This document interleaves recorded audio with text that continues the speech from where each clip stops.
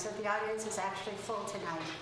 Um, This is being taped, it is being broadcast live, and it will be available on the website in about 24 hours, and the minutes are posted similarly in about 24 hours, the draft minutes. First, we start always with the Pledge of Allegiance. I've asked our Animal Control Officer, Mark Harper, to lead us, please, tonight.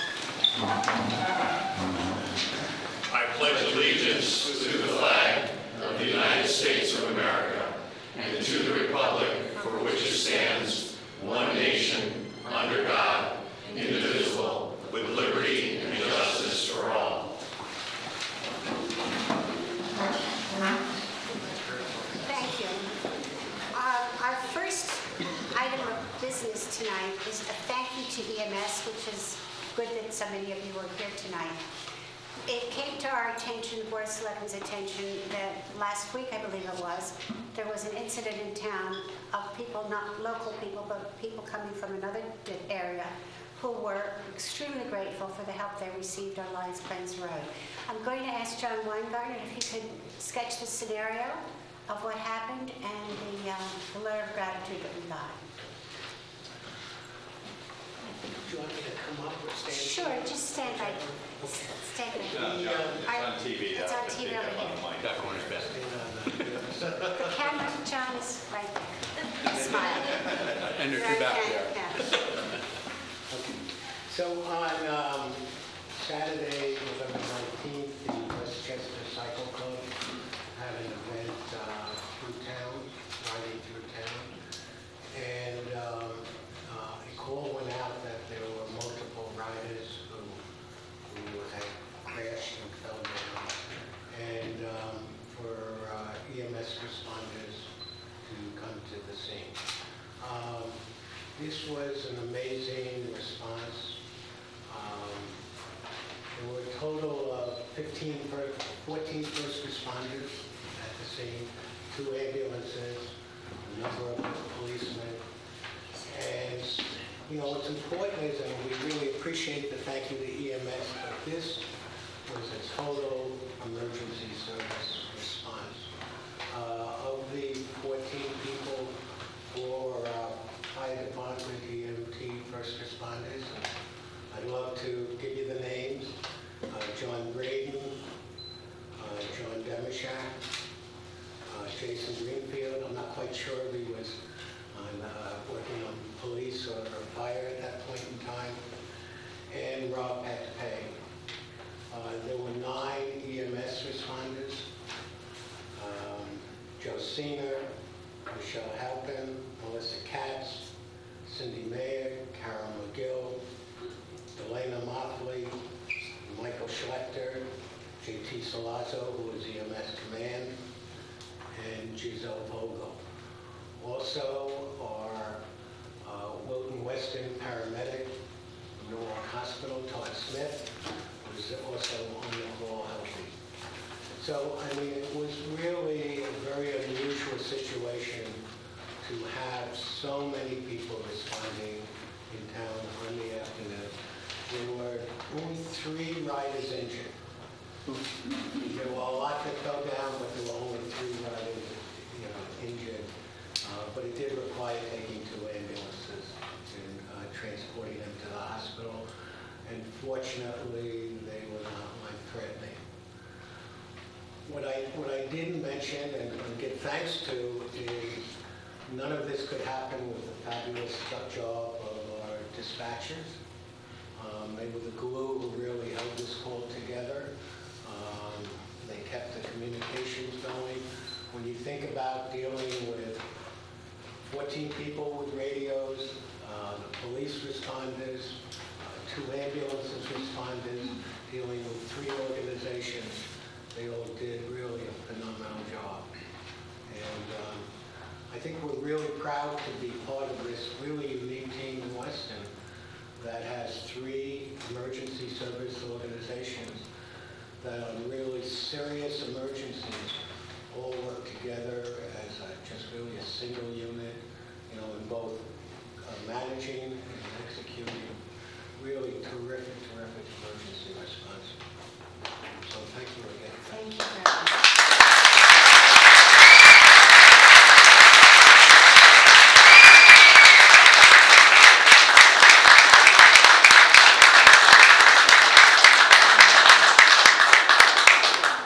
If if I could uh, just uh, add my thanks to the, to the responders more generally and- and specifically for this occasion. Um, I went into, um, I guess was, I went into work on Sunday and um, my email started lighting up with emails from the Westchester Cycle Club who had learned that I was a cyclist uh, and were so um, grateful for the way they were treated when they came through Weston, that they, they sent me a number of emails. Um, and the, the gist of them was, um, you know, you must have such a wonderful community because of the people that we met and how sympathetic they were. They weren't just responding, they weren't just helping us, but they were really sympathetic. And um, one of them called out uh, Joe and said, you know, Joe, um, you know, had a tragedy in, in his life with a cycle accident, um, and we're so, so impressed that he turned that tragedy into uh, such a positive thing. And um, so I just,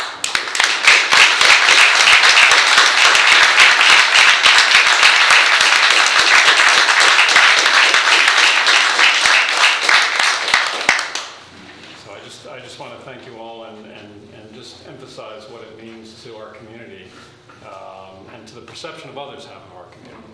So thank you. And um, I second that. I think it's very important that the community pull together for our own members and also for people who come from other parts of the country.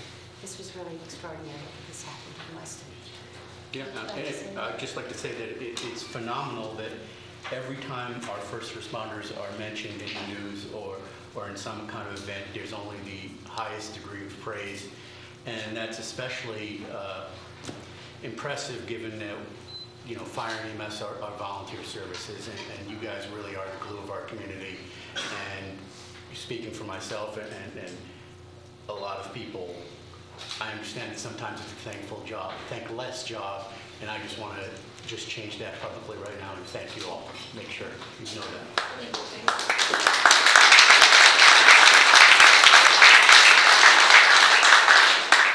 The rest of our agenda, down to item number nine, deals with reappointments. This is not what you came here to hear a discussion about.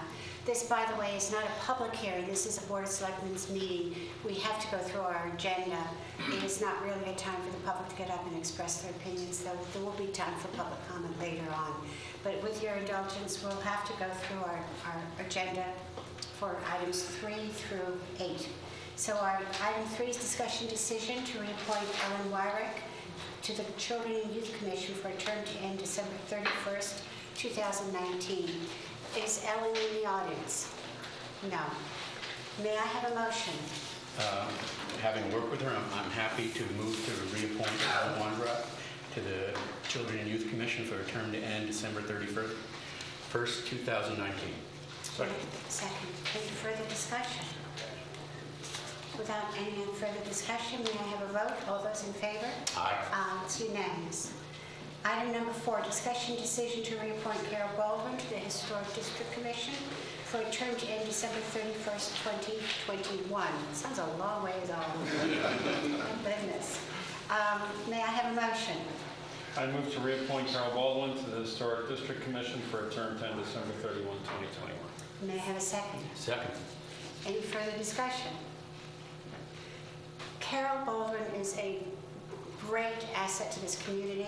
She's not only on the Historic District Commission, she's one of the guiding spirits to the shop, the shop farm in town.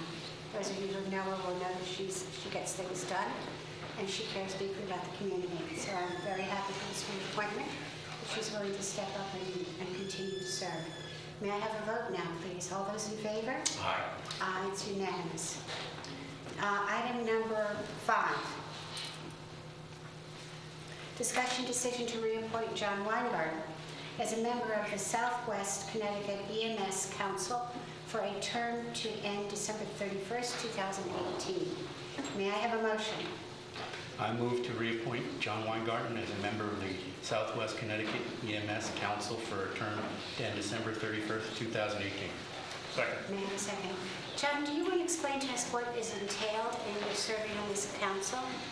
Um, The the council basically sets um, uh, both EMS policy and coordinates for the region and coordinates with the state, within the state regulations, and then communicates that back to all the services in the region. They're kind of the intermediary that translate what the state does down into the individual. Is it co, is it co-terminal with the COG districts or Southwest Connecticut? What districts are they including in that? The- I think it goes up as far as Stratford, Milford, all the way down So it's large, it's quite a large area. Yeah, Okay. the COG is actually District 1 and 5, so it's kind of half of the cog, It's half the COG. but it's all the close towns. Okay. Um, All right, may I, ca- without, is there any further discussion? Without further ado, may we have a vote? All those in favor? Aye. Aye, it's unanimous, and thank you for being willing to serve.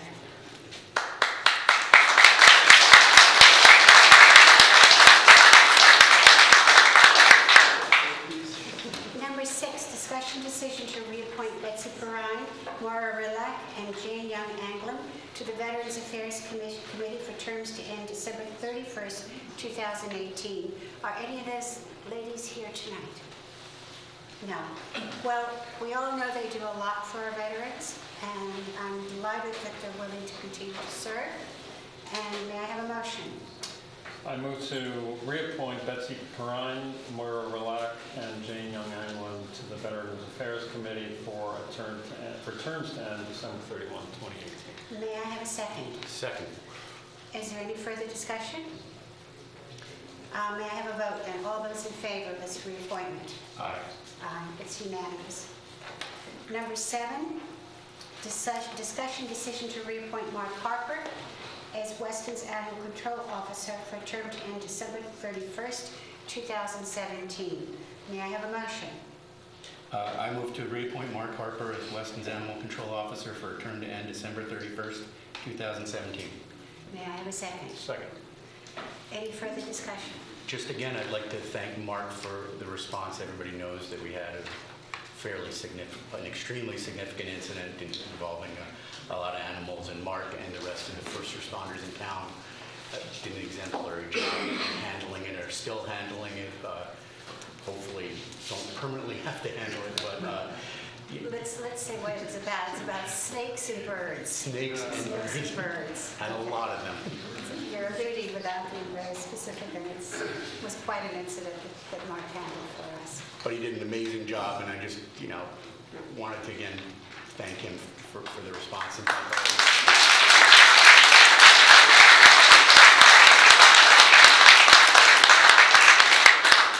So, is there any further discussion?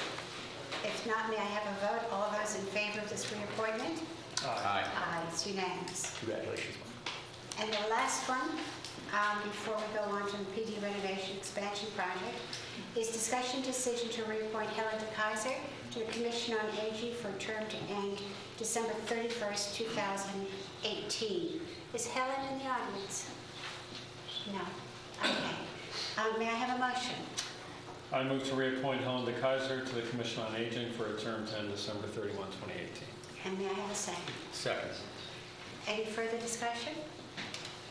I'd like to say that Helen has been acting as chair for the commission for eight years, and four, six of those years I was on the Commission on Aging with her.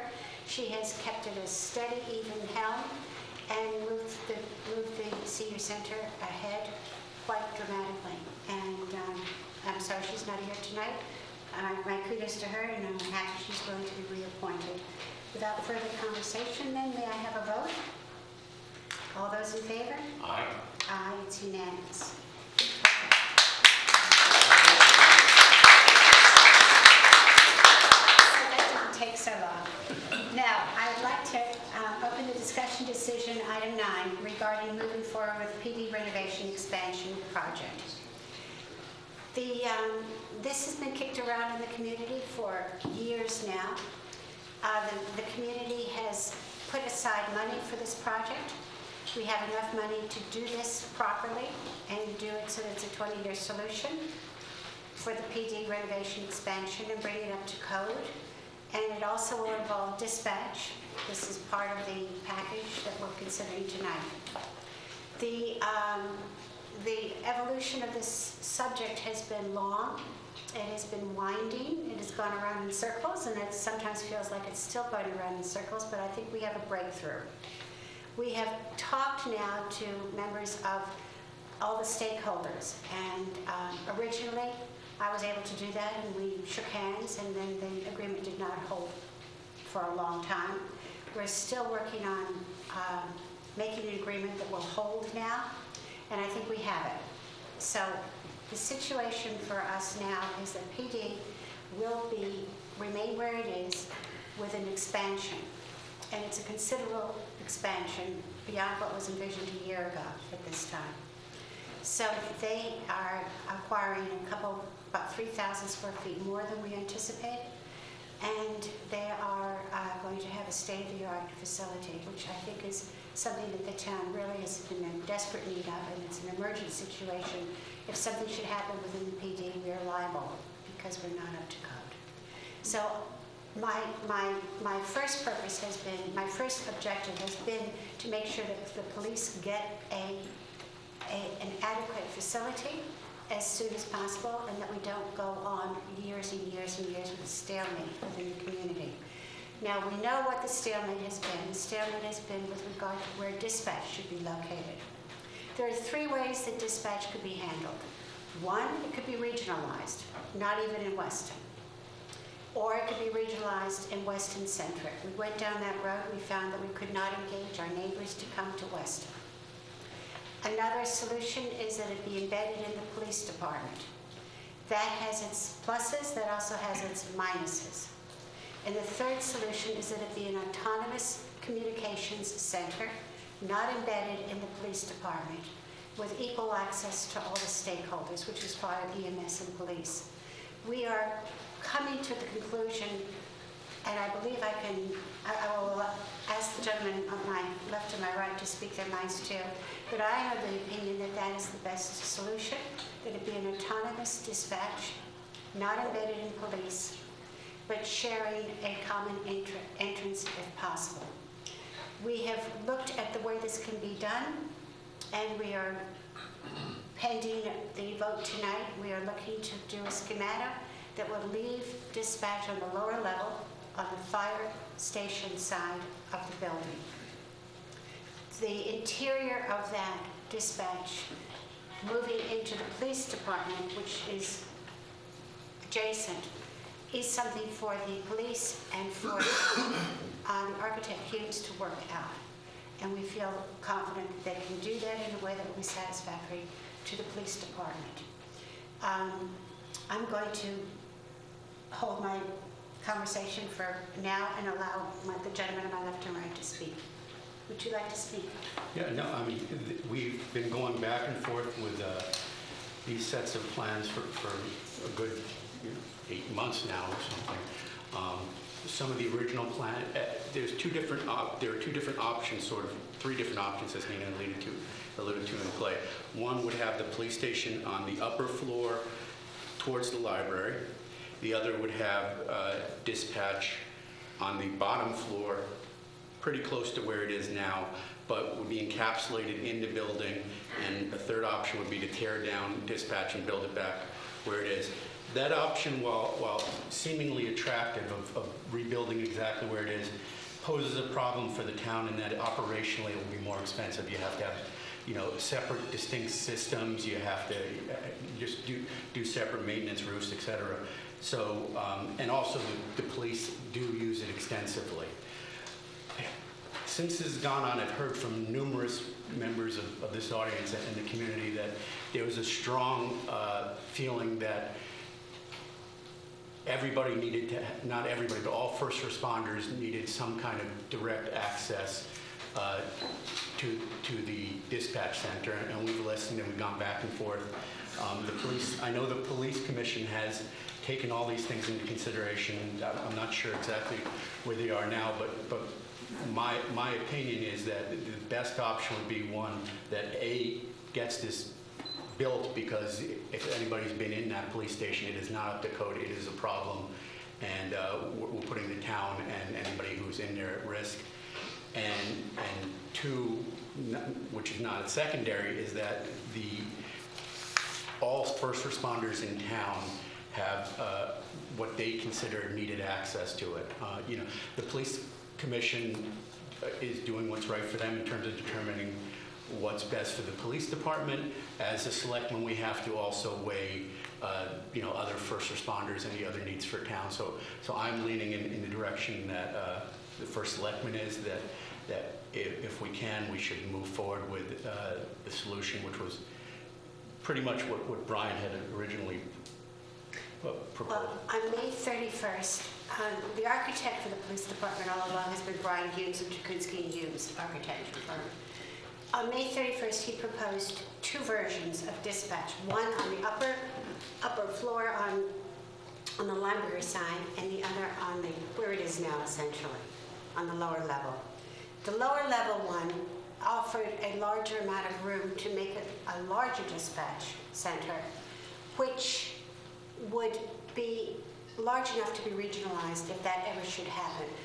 Our thought at the time was that if we ever had to go regional, if that was required of us by the state, better we should be Weston-centric. I prefer to keep it in Weston rather than have us farmed out to some other community and we wouldn't know exactly where. So this is still an asset. This is still a plus in terms of putting the dispatch down where it is now, but expanding the size of it. It means that if we ever did get forced, and this is why I talk about a 20-year solution, if we ever did get forced to regionalize, which nobody knows whether it would happen or not, that's really completely speculation, but it is large enough to be, re- to be, become a regional center, if that should ever happen. That's one of the assets. One of the things the police commission really wanted to see was a single point of entry, so that 24 hours a day, if you're looking for police or fire or EMS, you go to one entrance. We believe we can accomplish that on the lower level as well. This is something that again goes back to the architect to, to finish his plans. And our purpose here tonight is to vote on this option and allow the architect to finish the plans so that dispatch is autonomous in the position where it is currently. Uh, And in such a way also that the police are satisfied that it serves their needs and to move forward with this so that we can bring this to the community for a vote perhaps as early as March. So this is what we're working on tonight. What we need, what we have a motion on the table. Well, first of all, Dennis, I have not allowed you to speak. I'm- I'm- Sorry. No, no problem. Please, please Uh, speak up. Well, I, I, I basically agree with what, what both of you have said. Um, The, um, we have a couple of important community goals here as we, as we renovate. First one, which Nina mentioned, we got to get this done. I mean, it's just been too long, it's a dilapidated, terrible environment for people to work in. Dispatch is outmoded and, and dangerous um, and ineffective and old technology. I could go on and on. So we really have to get this done. That's number one. Number two, we've got a number, we've got an opportunity to make it the best we can for the next 20 years. Um, The, some of the goals that we had in mind were, uh, number one, to have a single point of entrance, 24 hours a day, where, our, where people know where to go. Uh, A visible entrance, so that uh, people aren't wandering around. Um, And um, thirdly, um, there, there was a desire to separate the path for emergency vehicles from the pathways for the public. Um, I'm not sure we're going to be able to accomplish all those goals. Uh, We're going to have to make some compromises. Um, To me, the, um, the the biggest downside of having the dispatch um, up here was, as Nina said, it's embedded in- into the police department, and we've traditionally had a, uh, an independent dispatch group. Um, So moving it down to where it is, or or retaining it where it is, has a big benefit in that regard. Um, I think it presents some challenges in terms of uh, a 24/7 single point of entry, but what I would like to do, and I, I think my colleagues agree, is find a way to get that done where it's, where it's, where it is currently, but it also has 24/7 access. So, so that requires a redesign. Um, And I'm, I'm in favor of spending the money to redesign it to accomplish those goals. Thank you. Um, I- I'd like to put in a few um, words now for our first responders. My father was a first responder, and I remember growing up, being in the dining room and in- the library, the alarm would go off, and it might be a holiday, and my father would strap on his belt or whatever his equipment was, his boots, and off he'd go. I believe that this volunteer spirit in our town is part of our culture. I believe it's part of our history, and I've been willing to make certain um, allowances for uh, not having a perfect solution for everybody in order to preserve that volunteer community that we have here, which is present here tonight. And I thank you all for coming out. Now, we are, re- eh, I'm going to open it up and ask if does anybody have any questions?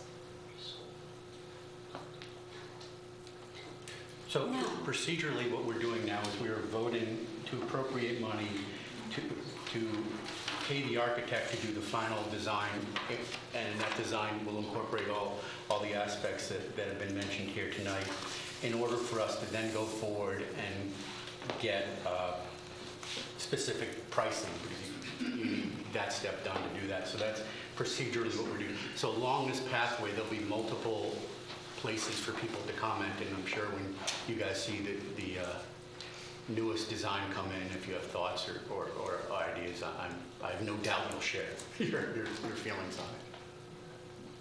So the procedure right now, however, is even a little more specific. We're looking for cost estimates for the design where it will be down below, with dispatch autonomous and um, on the lower level. So what- for that, we we, we we were told by Jacunski and Humes we would need to appropriate $5,000 to get professional cost estimates. The schematic will be done, and the cost estimates will be done, and we will then have something that hopefully will be ready to go. Wait, I'm confused now. We don't have a design for the project that we just talked about. That's correct. So we need a design, so. That's correct. Okay. How much is that going to cost? It's fifteen hundred bucks. Okay. And, and the rest is for the costs? Right. So we, we got the fifteen So hundred it's both. covered and then the five thousand for the estimate. Yeah, Got it, the 15 is 1,500. covered, and he, he, he still owes us $900 worth of work. So Perfect. Imagine that. So we're okay. So really what we're doing now is, is the motion is to authorize a supplemental appropriation in the amount of $5,000 for the purpose of engaging the firm of Jacunski Humes and their consultants to provide a detailed cost estimate for the proposed police department and communications center renovation and expansion. That's our motion. Okay, but I, I don't, that doesn't cover design, so, Can can I just clarify Well, something? that- Yeah, sure. Your Design, we don't- supplemental is not to cover it. We don't need to supplement. okay, got it. I just wanted to clarify something. It's my understanding, part of the reason why these guys are here, is that part of, of what you're stating to us now is that it's the intention of the first selectman to endorse a design that will incorporate the features that you suggested, where the communication center will remain autonomous and generally located where it is, and that these funds that I guess you're asking for approval of through the voting process is to uh, uh, bring that forward uh, for cost purposes and a tighter design. Exactly. Yeah, th- we had a design before, but it had a regional dispatch in that location. So now they're going to redo it with a non-regional dispatch, same location roughly there. That's great. But, but, but it, but it did not have a 24/7 entrance on this side. That's what needs to be designed. I understand. And so if that can be designed, if we, if we all like the design, if it's within our budget, That's what we want to do. I understand. And um, I think we can do it. I'm very hopeful, I'm very sanguine about the situation at this point. It's been a long road to get here. So um, I've I've asked, I've I've made the motion, may I, or would somebody like to repeat it? So, so moved. So moved, second. All right, seconded, seconded, Dennis seconds, all those in favor? Aye. Aye. We're done. We've got it up, we're on the road. There you go.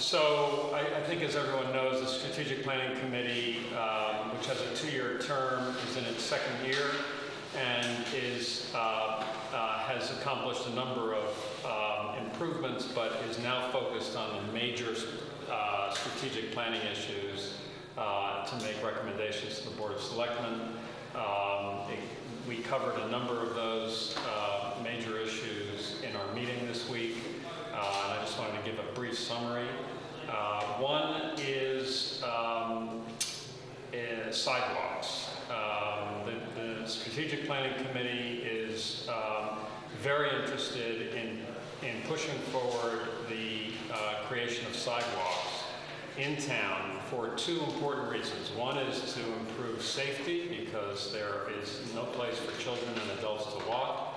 Um, And second, uh, in order to pull together the center of town the schools so that it, it's more, has more of a community feel and more of a walkable village area. So we think it's very, very important. Uh, The, the cost of it uh, ultimately, we believe, will be less than $300,000. Uh, It will be um, supported, we hope, by grant money, so that that entire amount won't be required. Uh, But even if we had to pay every penny, we think it's well worth it for the improvement it would create in the community and the improvement in safety. Um, The breakthrough that we had this week is that until now, the Board of Education had not been willing to endorse the, the- the project. Uh, But um, uh, as a result of the meetings that we've been having, the Board of Education Facilities Committee took it up, and Elise Major, who has been extremely instrumental in, in pushing this forward, um, announced yesterday, or the day before yesterday, that the Board of Education has approved uh, the the uh, sidewalk plan, a- a sidewalk plan to integrate the schools and the, and the downtown area. So that's a major breakthrough, um, and we've uh, appointed a couple of people from the committee to press forward with this. We've got um, a set of plans which were created uh, when Tom and others um, applied for a grant several years ago. Uh, It's a very good plan. It probably needs to be tweaked a bit, um, but um, we would like to move forward with that, and I'm going to be um, respectfully and humbly asking the first selectman to include some funds for this in the, uh, in the next budget. Uh, So that, that will be a discussion we'll have to have, because it doesn't come for free, but as I said, I think it's, it's a great project and well worth. And there's potentially some STEAP money, we'll have to look back into that, right? Well, provided there's STEAP. If, I, you know, I'm not being facetious. No, no, I- Looks like it's- yeah, I understand, What- whatever goes on in the state, but historically there had been. And just to clarify, we're talking about sidewalks in the immediate vicinity of the village district and the school. Because Correct. sometimes when people talk about sidewalks, it's a much more expansive concept, and we're talking about a very limited, specific purpose in this case. Exactly. And I think we're talking about it as being tiered, and tiered in the schools parlance usually means uh, divided up and done over a course of several years. So the first, the first thing the schools would be interested in doing is connecting the four different schools. So we have the middle school with a little sidewalk in front of it, then you can get to the high school, there is a sidewalk. Then from the high school, you can sort of get to the, mid- to West School, and from the West School, you really can't get to the elementary school, which means that you can't really get from the west, from the middle school across to the public library. Kids can't go to the library after school because they can't walk it. There's no way to walk it without going across parking lots and through grass and, and, and um, playing fields and so forth. So if we talk about sidewalks, tiering it, we're talking first of all, connecting the four schools on the campus. The other aspect of this sidewalk project was to bring it down School Road to the stoplight there and create a passage, a, a, a, a crossover of Route 57 to the center that's safe. Because right now, the sight lines at Noonan's office, which is that stoplight at School Road, the sight lines are terrible cars coming from either direction. Kids trying to cross there, they're not very visible for her. There's not enough for a warning. Especially It's snow. dangerous, and with snow and ice. And the, the state, unless they run out of funds, had proposed expanding that stop, stoplight and having on each side, on each direction, a passing lane, which would just take a little bit more of the road, but it would widen it. You'd then have two cars coming from each side, you have two cars or four cars in a row, and the sight lines would be even worse. So the idea of the sidewalks, once we get the four schools connected, would be to make, make them come down, make, make a sidewalk come down from central office, which connects to the main sidewalk through campus from coming out of WIS, and I hope people understand my, my map in my mind. Um, but we'd have a sidewalk that go down central, from central office down to Noonan's office, down to the school road. Create a new way of crossing over to the center so it's safe. And we're not sure how that would look. The state, that's a state road, the state would have to give us direction on that. That would be the next thing that could be done in terms of tiering. The last thing would be to come out at, at the um, public library, bring a sidewalk down in front of the public library, in front of Town Hall, all the way down to the corner of the stoplight in front of 48 Norfield. If we can. There's- If we can purchase 48 Norfield, the original thought when we were trying to purchase 48 Norfield last year was that would then give us, we would own the entire pathway for a sidewalk that would go from the schools, encompass the municipal campus here, which is Town Hall, police and so and fire and the library and go down to the corner and go wrap around on Route 57, have a safe crossover to the commercial district, and then go back up into the school, up at School Road, and, and connect with the the campus sidewalks. And give the seniors in the senior center a walking path where they can go around the outside of of Route 57, around the uh, uh, Norfield Road and go straight to the library and come back and, you know, and it would be a path that would clear. It makes a lot of sense for a lot of reasons, and you're right. And and one thing I want to throw out there, um, this might be an opportunity to look at crowdfunding too for whatever we can't get f- from other places. And whether or not we can't, we may want to, I know we've sold, not sold, but sponsored bricks. I know we did it in Bisegli where we had, you know, donors and sponsors. It- It, might be, be a, a good opportunity to look into that, to raise some funds. I know they did an amazing job with the lights at the football field. So, you know. Yep, absolutely. And, and uh, the tiered approach might help with that. If, if we could start with a sidewalk on School Road that uh, people could see and they could see how much it improves people's lives, uh, that we need more money to, to bring it into town, it might generate interest. Yeah, I, I mean, as somebody who walks a lot, I can say that it would not only be better for the people walking, but frequently, if there's snow and you're on the street, people have to stop, slow down, swerve around. It, it, it impacts traffic, it impacts people's convenience, and it certainly impacts safety. So it's, it's a great idea. It's been a long time coming, and I'm glad at least something's moving on it.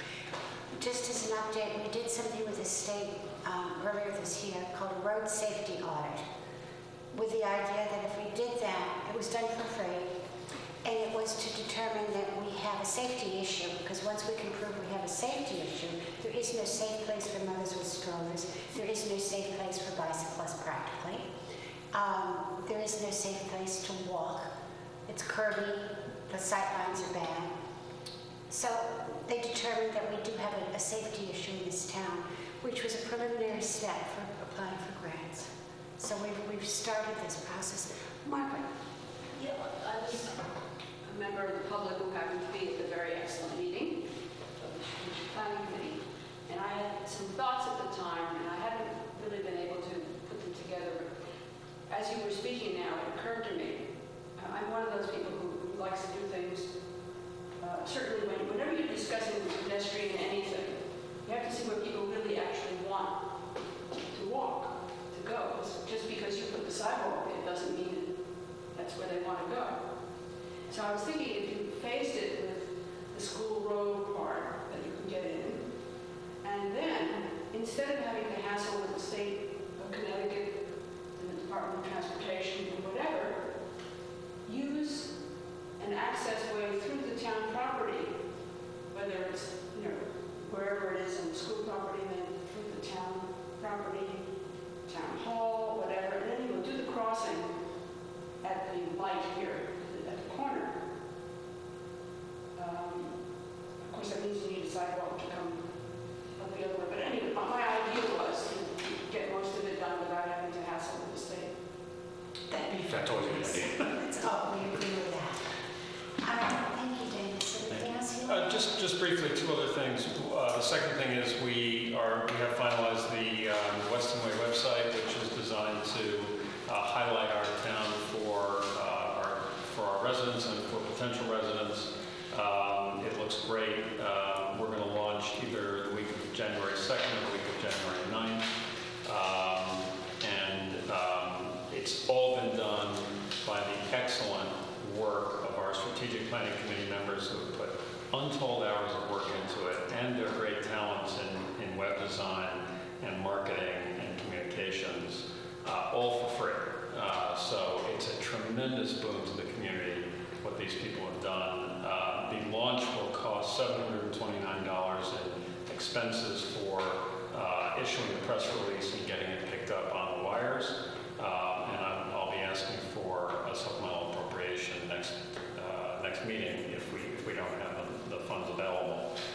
it's again well worth it because it's a tiny percentage of the cost um, of the overall website, uh, which is again going to make it's going to create uh, more uh, more of an understanding of the town, more of an outreach, more of a visibility, uh, and it's it's going to improve improve the town immensely. Um, and the third piece was a survey. Um, our committee was planning to do a, a scientific survey in order to assess what uh, residents want in terms of uh, development in town, amenities, sidewalks, um, senior uh, uh, housing and services, et cetera. It's a critically important part of, of our mission to know what the community wants.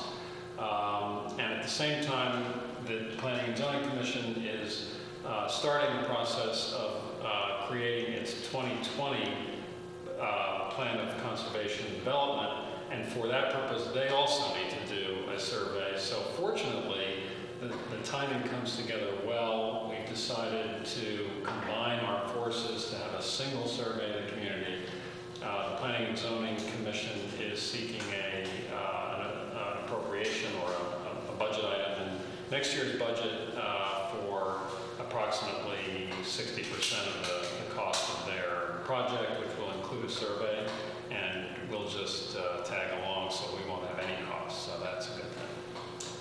Smart. Okay, thank you very much. Thank you so much. I mean, You guys have done an amazing amount of work. That's been great.